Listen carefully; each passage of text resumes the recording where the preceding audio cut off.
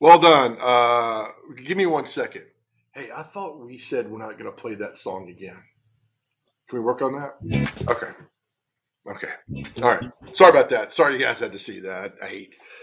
Didn't want to be that mean. All right. Welcome back to Mornings on Main Street. Let's bring in our good friend now, Jason Gooseby. There he is there. Uh, getting his spark on this morning, are you? Hey, they uh, those musicians. They must be union musicians. They don't listen. They don't. I mean, hey, at 801, they're gone. And I can't touch their stuff either, man. Hey, Ridiculous. speaking of that, what's what's the guitar behind you? I've been meaning to ask. Is do you play? I do play. Okay, what is that behind you? Uh, it's a guitar.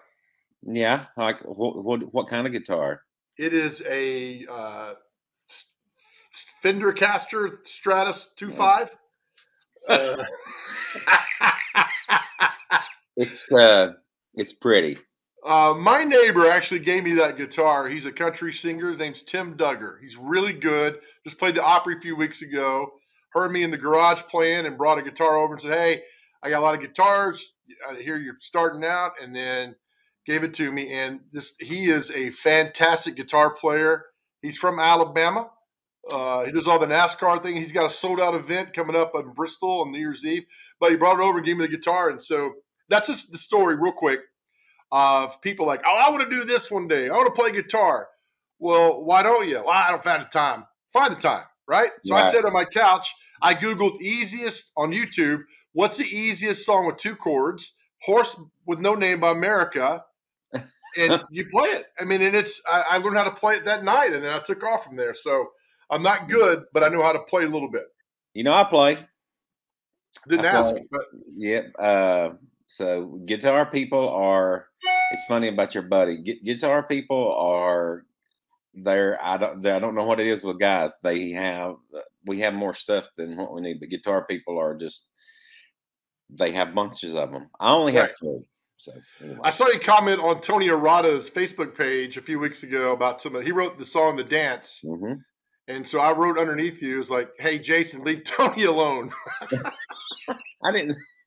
I didn't see it. Oh my gosh, I didn't see. I'm sorry about that, man.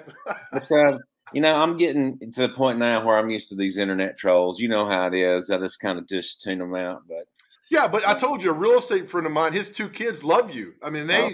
anything you put on the internet, they go and find it immediately, and so excited that you're part of this show and they're watching right now. So I think it's great, man. You've you've carved out a little niche for yourself. I don't know what it is, but you've done a good job. It's the ravishing good looks. It's Maybe this, it man. It's this. It's beautiful, right? Thank God. it is. Bruce Willis. Thank you, Bruce Willis, for making this popular. All right, busy week before Christmas or no?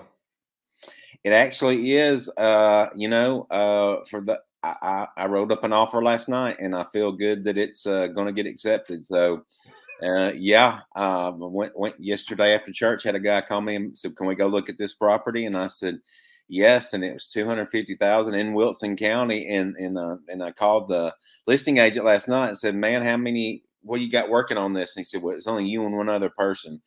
Went and looked at it today to come back on the market, and I, a lot of people take off, man. And I'm, I do, I, am going to take off later to the week, but that's one of the things, Joe. You know, I mean, it, when you're kind of in business for yourself, and uh, you you got to be self motivated and, and, you got to be there, you, you, know. And if, if you call me and say, I want to go look at this, unless I'm going, unless it's Sunday mo- morning before 12 p.m., because that's when we go to church, or I'm, you know, a birthday party with, or something with my family, we'll go, you know. So, um, yeah, it is pretty busy.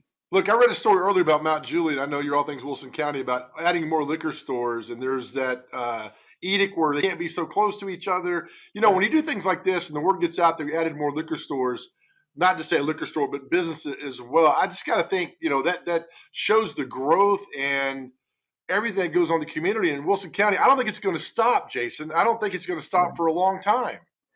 Yeah, I don't, I don't know if you and I talked about this uh, specifically, but uh, back in the old days and before civilizations and before they in modern agriculture, people followed the herd, right? You followed the herd and you went around and you, you killed the woolly mammoth and you ate, and that's what you did to survive. Well, nowadays, the herd, the modern day herd, eh, are jobs. And because uh, that's what we we have to have money to buy food. So, um, and we're just really ripe with jobs uh, right here, you know, uh, and have been for a long time. And it, you can say, well, the whole country's doing that right now. Well, I mean, we've been in this phase, Joe, for how many years now? I mean, really, with 840 opening up, and and we have so many logistical jobs uh, in Wilson County because of our uh, close proximity to all the interstates. I mean, you can you you're you can you can be in California and um, um, you know 18 hours or 20 hours, depending on you know. So I mean. Um, those jobs. Wilson County, our leadership has done a really good job over the years. People that have already out of power now, they've done a good job creating jobs and being business friendly. So, how much different will this a year from now look than what we're seeing today? I mean, I mean, I know, like so we talked, it's not going to stop growing and everything, and more businesses coming here. I mean, any rumblings of big projects or big things that are coming down the pike? Because there always is. Right. Um, uh, there are. You kind of put me on the spot there, Joe. Uh, I mean, overall, I'm just saying. I mean, there is. We look now. I mean, a year from now, things get grown. I mean, the Facebook plant that's being built up in Gallatin that's going on up there, which is going to be massive, and other things. The build out. You know, I t- we've talked about this before. The Speedway. If you go on 840, haven't been down there a while. I mean, both sides of eight of 840 are just packed with new businesses. I mean, right. the Home Depot's got a deep uh, center there. Then what Amazon's doing? I mean, it's not going to stop. Yeah, there, there's especially out there on 840, and there's still so much. I know to us that live here, you're just like everything is going to be full before long. There's still lots of uh, lots of land out there to be developed. There's even some tracts of land within Davidson County that haven't been developed yet. So yeah, here in Wilson County, we still have plenty of plenty of growing to do. I think, and, and you know, and I'm going to try to find out a little bit about this. You asked about this a couple of weeks ago. I, I would like to try to find out um, uh, uh what we think our time frame is for building another high school. I know we just got Green Hill. I know we got just got Green Hill open, but I mean, uh, so this is its second year, right? And um, so th- there has to be a time frame for when there will be we'll be building another one. And so uh, really we look we're looking a lot like rutherford county maybe yeah. 10 to 15 years ago you know? Do you remember i mean you know i mean you've lived here you're a lifelong lifer you're a military lifer but i mean it hasn't been that long ago when it was riverdale oakland and river it was riverdale and oakland. That yeah. was it over there in Rutherford County. Mount Juliet, Lebanon. That's it. Yeah, right. Watertown. And um, so, I mean, and you look over there, I remember when Blackman was built. As a matter of fact, you know, good, cool, cool connection with us. Uh, Bobby Wells, coach, uh, Walter Wells' brother was the coach over there at Blackman right. for a little while.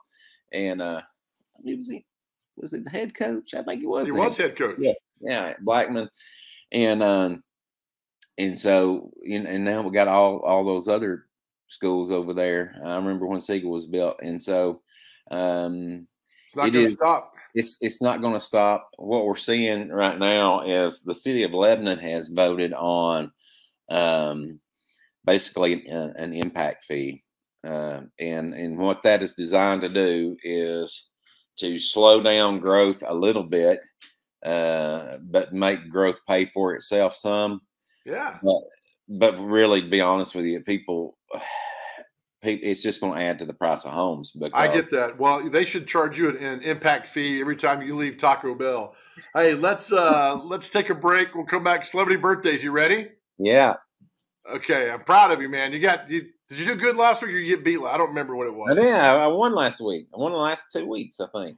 Yeah. Congratulations. All right, we'll see how you do. All right, we'll come back with celebrity birthdays with the Inside Scoop with Gooseby next year, Mornings on Main Street.